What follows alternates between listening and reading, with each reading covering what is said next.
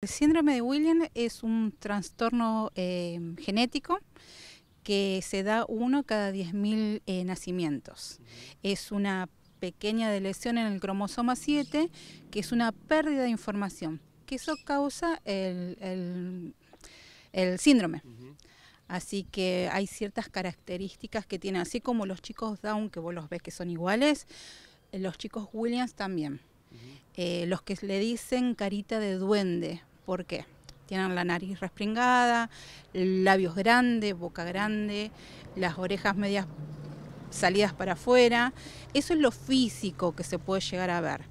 Y después lo que hace este gen, que es el gen de la elastina, le afecta la parte cardíaca. Es decir, que van a tener un trastorno cardíaco, que puede ser una estenosis eh, valvular aórtica o pulmonar. ¿Esto se puede detectar eh, mientras la, madre o la, mujer va gestando a su hijo?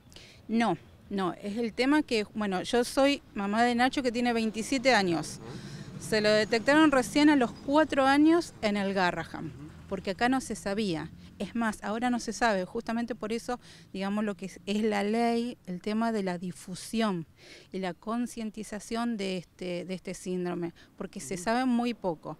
Eh, es hereditario, en el caso de que tenga descendencia, pero no es por parte de la madre o la madre, es azaroso.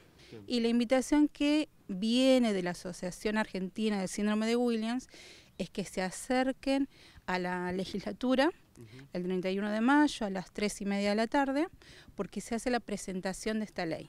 ¿Una ley provincial? La ley provincial, sí.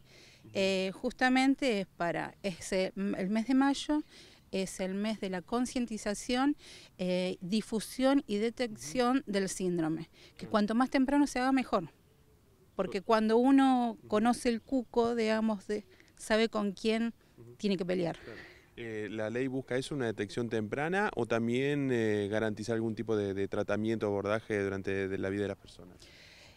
no, más, más bien es la detención, porque te digo mi caso, yo perdí cuatro años y lo que es importante es la estimulación temprana. ¿Por qué? Porque lo que se busca es una autonomía de la, de la persona. Y entonces cuanto antes se, sepa mejor.